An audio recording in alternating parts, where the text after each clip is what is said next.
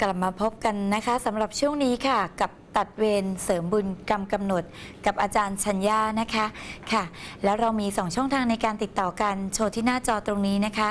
ค่ะ คุณผู้ชมสามารถโทรเข้ามาที่ 02 934 9258ถึง9และ SMS เพียงพิมพ์ชื่อและคำถามที่อยากจะทราบนะคะ ส่งมาที่ 4642201 นะคะค่ะ และสำหรับคืนนี้หากมีการรีรันเทปนะคะ ก็ช่วงประมาณตีสองตีสามนะคะค่ะช่วงนั้นสัญญาไม่สะดวกที่จะรับสายนะคะ เพราะว่าดึกเกินไปแล้วเป็นการรีรันเทปนะคะ แต่ว่าการจัดรายการแบบนี้เราจัดกันสดๆ ทุกวันศุกร์เวลา3ามทุ่มถึง4ี่ทุ่มนั่นเองค่ะค่ะ มารับสายนะคะ คุณชนาผ่านไปแล้ว คุณชนาอะไรเอ่ยอะเดี๋ยวเรามาดูกันนะคะสำหรับผู้ที่ถามมาจาก SMS ค่ะ คุณสายพินนะคะ ถามสมัครงานใหม่จะได้หรือไม่นะคะ คุณสายพิน จะได้หรือไม่ ได้ค่ะ คุณสายพินคะกลับไปหา คนที่คุณรู้จัก กลับไปหางานเดิมๆได้นะคะก็คืองานเดิมๆที่คุณเคยทำหรือว่าเป็นฟิลเดิมหรือว่าคนที่คุณรู้จักจะมีการแนะนำคุณได้เงินดีด้วยนะคะ ถือว่าดีค่ะ ได้แน่นอนนะคะค่ะ ถัดมานะคะ คุณพิระวันถามเรื่องโชคลาภนะคะ คุณพิระวันถามถึงเรื่องโชคลาภมีไหมเอ่ย โชคลาภไม่มีค่ะ ระวังเรื่องการโกรธกันกับคนรักด้วย คุณขี้หึงนะ เช็คนู่นเช็คนี่ตลอดเลยใจร้อน โชคลาภไม่มีนะคะ คุณพิระวันนะคะ ถัดมานะคะสำหรับ SMS คุณบัวพันธ์ถามว่ามีกรรมอะไรป่วยบ่อยนะคะ คุณบัวพันธ์เดี๋ยวก่อนที่เราจะรับสายสดกันนะคะเราเอ่อมาดู SMS คุณบัวพันธ์ค่ะ มีกรรมอะไรคุณบัวพันธ์ป่วยบ่อยเพราะฆ่าสัตว์ตัดชีวิต อาจจะรวมไปถึงการทำแท้งในชาตินี้ด้วย หรือว่า นี่เลยนะคะ ลูกหลานลองดูว่า คนในครอบครัวคุณเนี่ยมีการเสียชีวิต หรือว่าเกี่ยวข้องกับเรื่องแท้งใด ๆ หรือเปล่าไพ่วิญญาณขึ้นมาอีกแล้วนะคะ ก็หมั่นปล่อยปลาถ่ายชีวิตโคกระบือ สวดมนต์แผ่เมตตาให้กับเจ้ากรรมนายเวรเจอสัตว์ที่กำลังเดือดร้อนกำลังเจ็บป่วยบาดเจ็บ หรือกำลังหิวโซก็ให้อาหารถือว่าเป็นการช่วยเหลือนะคะ สิ่งนี้ก็จะได้บุญกุศลนี้ด้วยนะคะค่ะ ถัดมานะคะสำหรับสายต่อไปเลยค่ะ สวัสดีค่ะ สวัสดีค่ะ ค่ะ คุณอะไรคะ กันพดาค่ะ คุณกันธดาเปลี่ยนชื่อมาเหรอคะ ใช่ค่ะ กันธดา ดีไหมคะพี่สัญญากันธดา เหนื่อยเนาะในช่วงแรกใช่ๆต้องมีความเป็นผู้นำสูงเนาะอะไรอะไรก็ต้องเราเนาะค่ะ อืม เหนื่อยหน่อย แต่ถ้ายินดีที่เป็นผู้แบกรับ ภาระต่างๆ ก็โอเค ค่ะ นะ อะ ถามพี่ชัญญาอะไรดีจ๊ะ ค่ะจะถามว่าสมัครงานไปอะค่ะ แล้วก็อืมหลังจากสมัครเนี่ยจะได้ไหมคะพี่สัญญา สมัครไปแล้วนะ ค่ะ เคยสมัครไปแล้ว แล้วก็กำลังจะสมัครอีกเนี่ยค่ะ มีใบสมัครมาแล้ว งั้นกำลังจะถามว่าทุกๆงานที่สมัครได้หรือไม่เนาะใช่ค่ะจ้ะนึกถึงเลยทุกๆงานที่สมัคร น้องกันธดาเนี่ย ได้ทำงานที่ไม่ได้จบมาโดยตรง ใช่ค่ะ สมัครคนละฟิลเลยนะ จบ อีกอย่างมาทำงานอีกอย่างหนึ่งใช่ค่ะ อ้าวทำไมอย่างนั้นละจ๊ะทำไมไม่ไม่ทำงานสายที่จบมาโดยตรงล่ะจ๊ะคือก็เป็นสายเอ่อสายวิศวะเหมือนกันค่ะ แต่ว่าจะเป็นคนละฟิลคือหนูจบเหมืองแร่จบทรัพยากรมา แต่เคยได้ไปทำงานโรงเหล็กอะค่ะ โอ้คนละเรื่องเลยแต่ถามทำได้ไหม ใช่ค่ะ พี่ว่าทำได้ค่ะ แต่ทำได้ไม่นาน ค่ะ ใช่ออกมาแล้วค่ะ เออเหนื่อยนะ รู้สึกมันไม่ใช่เราอะค่ะ ทำได้แต่ทำได้ไม่นาน เหมือนเรากำลังติดติดขัดขัดๆเรื่องค่าค่าตอบแทน ค่ะแล้วละค่ะ ดูแบบนี้แล้วเนี่ย ยังไม่ค่อยยังไม่ค่อยสดใส ค่ะหลังวันเกิดค่ะ เกิดเดือนอะไรจ๊ะ เกิดเดือนเมษาค่ะ หลังวันเกิดเนี่ยจะมีงานที่ดี เราอย่าหูเบานะ เป็นคนค่ะ ที่ทำอะไรเนี่ยไม่ค่อยมั่นใจในตัวเอง ทั้งๆที่จริง ๆ เป็นคนเก่ง ค่ะ แต่ไม่ค่อยมั่นใจหูเบาพอใครบอกอย่างนู้นอย่างนี้ก็เออออง่ายเกินไปค่ะ นะ ยังไงก็ลองปรับปรับตัวเองค่ะดูนะ ถ้าถามแบบนี้แล้วพี่ว่า ประมาณปลายปลายปีเนี้ยมีมีเข้ามา แต่ถ้าจะจะได้ทำก็ทำได้ไม่นาน เดี๋ยวประมาณเดือนเมษาจะเจองานที่ชัดเจน และเป็นตัวของตัวเองด้วย ค่ะแล้วเรามีรายได้ดีไหมคะพี่สัญญาดีด้วยค่ะ อ๋อหลังวันเกิดใช่ไหมคะพี่สัญญาแต่ตอนนี้ใครติดต่อมาก็ทำไปก่อน ค่ะเพราะจะมาช่วงปลายปีแน่นอน ค่ะแต่ทำไม่นานเดี๋ยวเมษาก็ย้ายอีก ทำไปก่อนนะจ๊ะจ้าค่ะขอบคุณค่ะขอบสวัสดีมากๆเลยค่ะค่ะ ค่ะ ต่อไปคุณสลันทัศน์นะคะ ค่ะ สวัสดีค่ะค่ะ เปลี่ยนชื่อมานานหรือยังเอ่อเปลี่ยนได้ประมาณสามจะสี่ปีแล้วค่ะ คุณสลันทัศน์เนี่ย คุณเป็นผู้หญิงแต่คุณบูบูลุยๆเหมือนผู้ชายเหมือนผู้ชายมาก ค่ะห้าวมากๆเลยอะจะค่ะถาอยามกอยากอยากถามว่าก็คือตอนนี้จะอ่าจะขายที่อะค่ะอืมอยากทราบว่าจะขายได้ตอนไหนอะคะ มีโอกาสจะขายได้ไหมตอนไหน ใช่ กำหนดดีกว่าค่ะว่าภายในปีนี้หรือปีหน้า ก็คือปีนี้ค่ะจะได้ไหมเพราะว่ามีแต่คนโทรเข้ามาถาม แล้วก็แบบยังไม่เยื่นสักทีอะค่ะนำทูบห้าดอก จุดทูบค่ะ ห้าดอกพร้อมกับไหว้ ขนมหวานห้าอย่างน้ำชาห้าแก้ว ค่ะ ขนมหวานห้าอย่างผลไม้ห้าอย่าง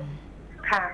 นะคะทูบห้าดอกขนมหวานห้าอย่าง ผลไม้เราห้าไปอย่าตั้ง งตรงค่ะน้ำเราชาไปตั้งตรงห้าแก้วไหนคะตรงที่ดินที่คุณจะขาย ค่ะ แล้วก็ขออนุญาตเปลี่ยนเจ้าของที่ขค่ะอให้มีคนมาสนใจ และหากขายได้ เงินส่วนหนึ่งจะแบ่งทำบุญให้กับเจ้าที่ ค่ะ แล้วเงินส่วนนี้เราไปทำบุญไปทำที่วัดหรือว่าไปทำยังไงคะก็ทำบุญทุกชนิดค่ะ ชนิดใช่ไหมคะค่ะ ที่เป็นบุญกุศลค่ะ ชะตาชีวิตคุณล้มแบบล้มทั้งยืนเลยนะค่ะ ไพ่วิญญาณขึ้นมาชัญญาก็ต้องถามคุณอีก จากหน้าไพ่ ค่ะ เคยเกี่ยวข้องเรื่องแท้งไหม เคยมีค่ะ นี่แหละสค่ะมัยเรียนใช่ค่ะ เด็กเด็กคนนี้กำมือไว้แน่น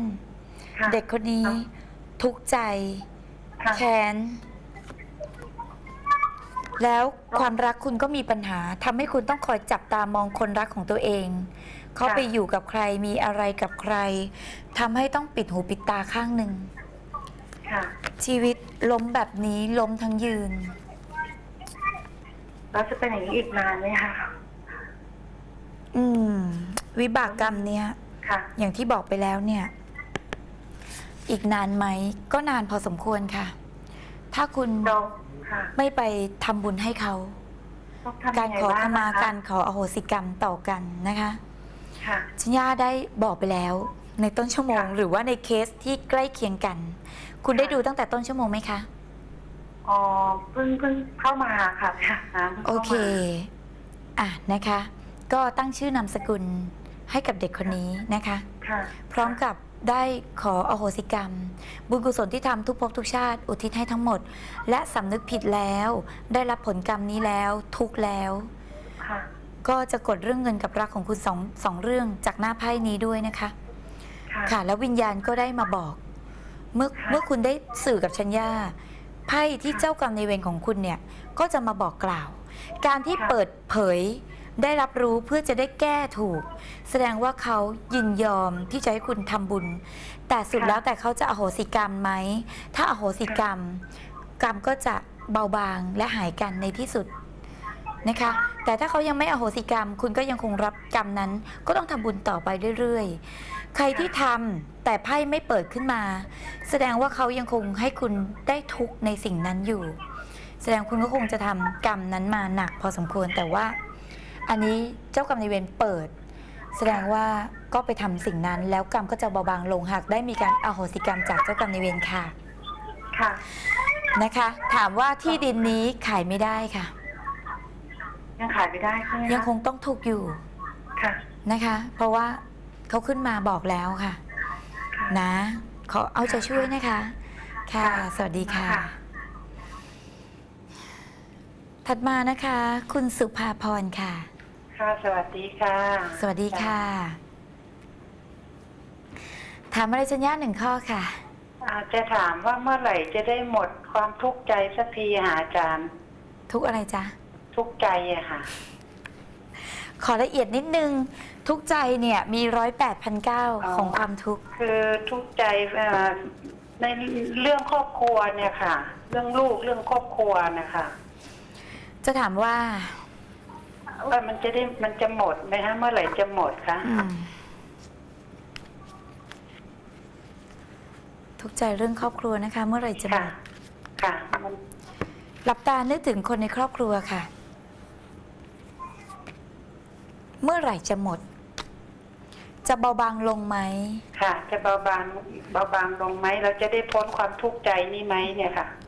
ถามตรงๆอีกแล้วทำแท้งมาหรือเปล่าคะค่ะทำค่ะ ที่ถามเพราะไพ่เทียนดับชีวิตที่ดับศูนย์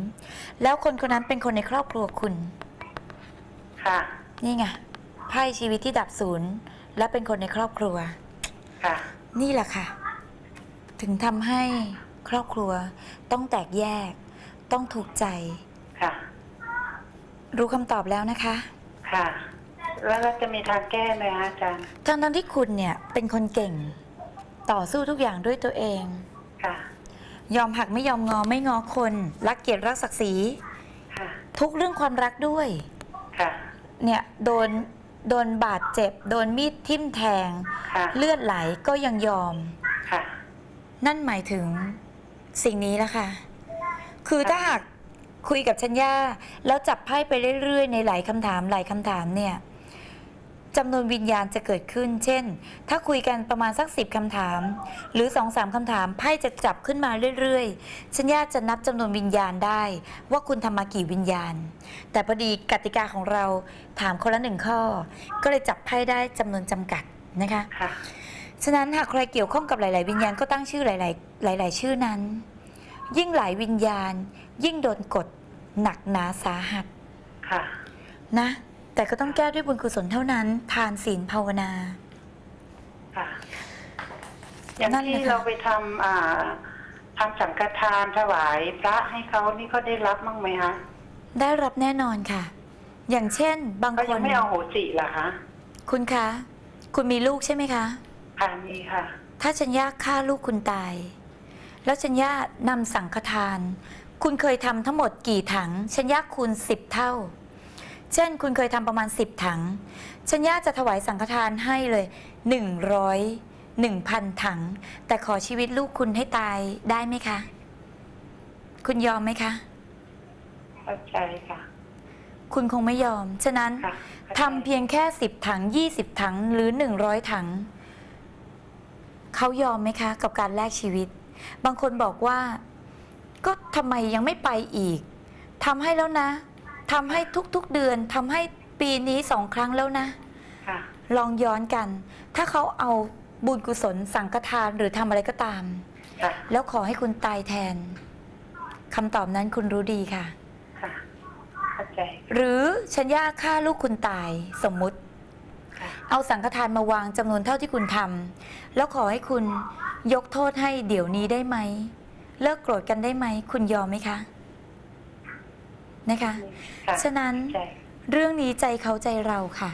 ใครที่ทำบุญมาแล้วโกรธว่าทำไมชีวิตยังทุกข์ ฉันก็ทำบุญแล้วนะ ถวายสังฆทานแล้วนะค่ะนะคะ สิ่งนี้ค่ะแลกกันไม่ได้นะคะ ค่ะค่ะโอเคนะคะ แต่ค่ะ โกรธยังไงก็คืนดีได้ เมื่อเขารู้ว่าคุณตั้งใจทำบุญให้เขาจริงค่ะๆการกะการอโหสิกรรมเกิดขึ้นได้แน่นอนค่ะจากความพยายาม ถ้าวันหนึ่งชัญญาพยายาม แล้วคุณเห็นแก่ความพยายามที่ชัญญาทำวันหนึ่ง จะนานแค่ไหนก็ตาม คุณยังคงให้อภัยชัญญาได้ แต่จะนานแค่ไหนก็ตามใช่ไหมค่ะค่ะ โอเคนะคะค่ะขอขอขอให้คุณมีความสุขค่ะ ค่ะ และสำหรับวันนี้ต้องขอขอบคุณทุก SMS ทุกข้อความ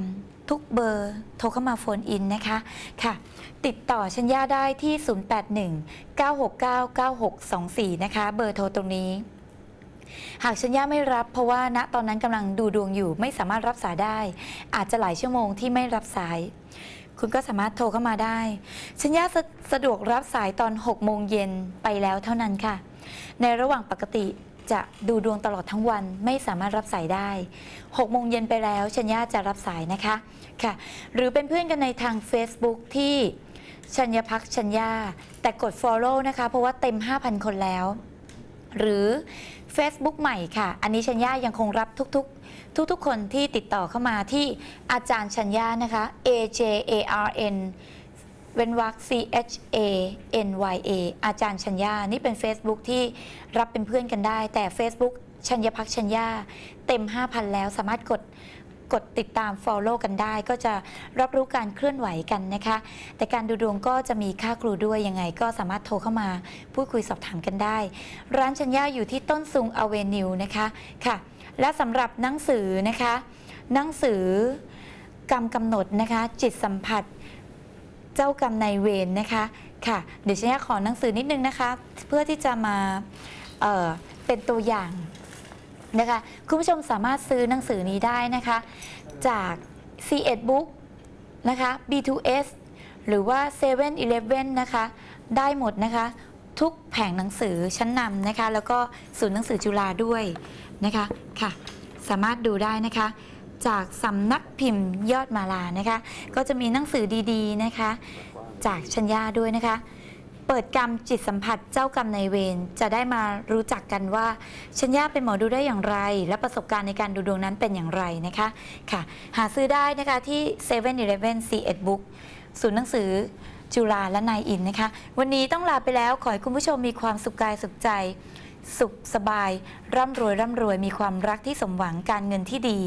หยิบจับอะไรก็เป็นเงินเป็นทองวันนี้ลาไปแล้ว พบกันใหม่ทุกวันศุกร์เวลาสามทุ่มที่ช่องนี้ค่ะ สวัสดีค่ะ